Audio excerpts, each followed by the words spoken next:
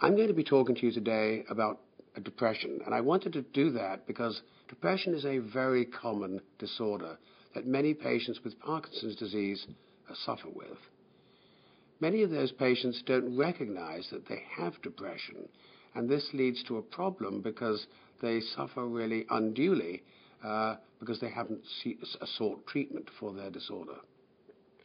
So let me, if I may, tell you a little bit first about what depression is and how common it is in people with Parkinson's disease so that you'll have a greater understanding uh, of the disorder. Depression probably occurs in between 50 and 60% of patients with Parkinson's disease. Um, in most cases, it's mild, but in, certainly in some patients it can be much more severe or even disabling. So that it's a very common problem. It's a problem that is, uh, that is probably misdiagnosed or not recognized in many instances.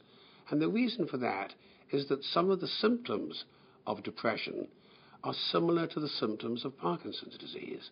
Uh, and therefore, the physician does not recognize that depression is a problem in addition to the Parkinson's disease. So, what are the symptoms of depression? Well, they are very variable. They include, obviously, feelings of sadness, of being um, unhappy with life, of feeling wretched, feeling miserable. Um, but it includes other things. It includes, for example, an inability to make decisions, a certain apathy, a certain loss of energy, a constant feeling of fatigue. It may include disturbances of sleep.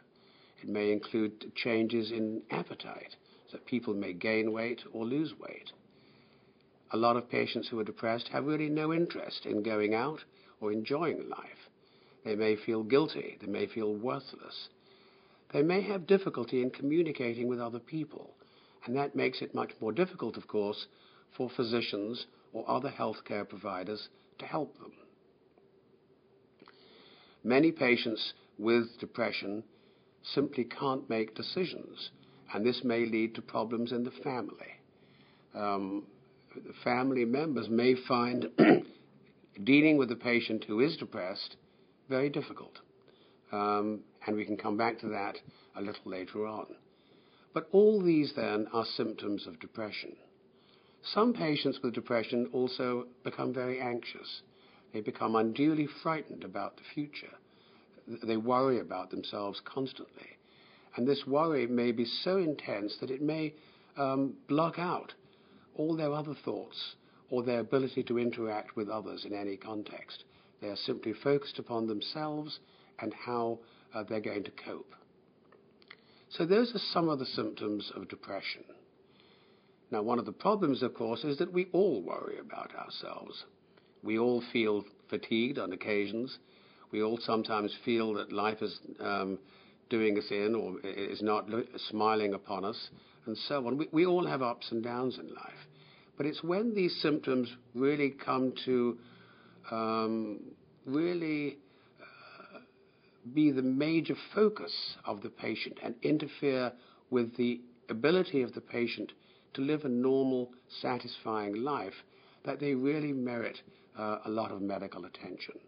Because these symptoms can be increasingly um, overpowering, and indeed, some people may eventually feel that life is not worth living.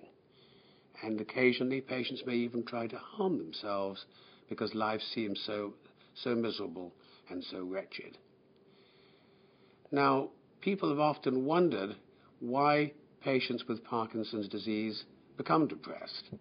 And it's very difficult to answer that question. Um, I think that parts of the brain that are concerned with our emotional state are involved in patients who have uh, Parkinson's disease. So there may be disturbances of function in the brain in those very areas that affect how we feel. those areas of the brain include parts of the brain that are very frontal in location, for example, and we know that those parts are affected in some of the patients with Parkinson's disease. So that's a little bit then um, about depression, about why it occurs in patients who have Parkinson's disease, it seems to be much more common in patients with Parkinson's disease than in patients who have many other sorts of chronic uh, disorder.